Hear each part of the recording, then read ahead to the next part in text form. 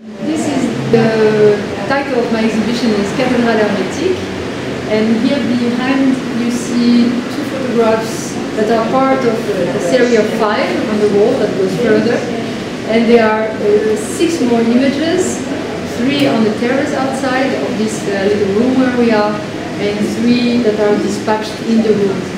Um, well, I hope there will be some uh, shots that are going to show you the full installation. I'm very happy of the installation that the curator Fannie Escoulen uh, developed for, for this uh, rencontre. And um, so I'm going to tell you sh very shortly about this project.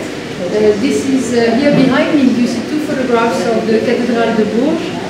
And at first sight, you might think that it's a, a church that someone photographed uh, a church in the shade and someone was outside the church photographing it. But actually not. It's the photograph of a book. So it's a photograph of a photograph.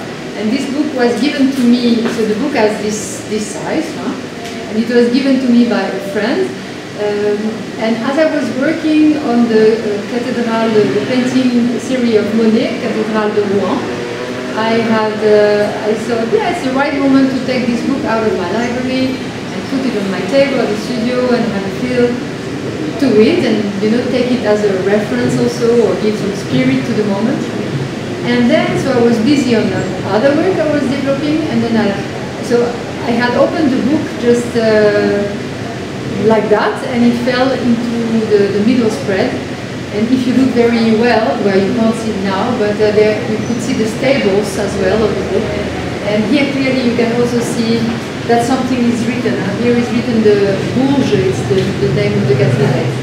And then so I was doing my things, but then I, I noticed that the, the frame, the window frame, shadow was, um, yeah, of course, uh, traveling across the image with the time. Ah, nothing new, but even though it, this feeling each time I was turning my head and seeing that the, the shadow had made a little jump like a swing, and uh, so like a witness of, of, the time that has passed, had passed, but I, did, didn't even notice the time uh, uh, had passed, or I don't know, it, was, it gave me a very deep feeling of peace, and, and then uh, because it was so very serene and very um, such a such a yeah a, a moment of deep calm. And I think I enjoyed the rhythm. I enjoyed the, the regularity of it. And then I um, decided that actually the thing that I should focus right now is in documenting that process. So I started to photograph this book uh, with the traveling shadows across the image.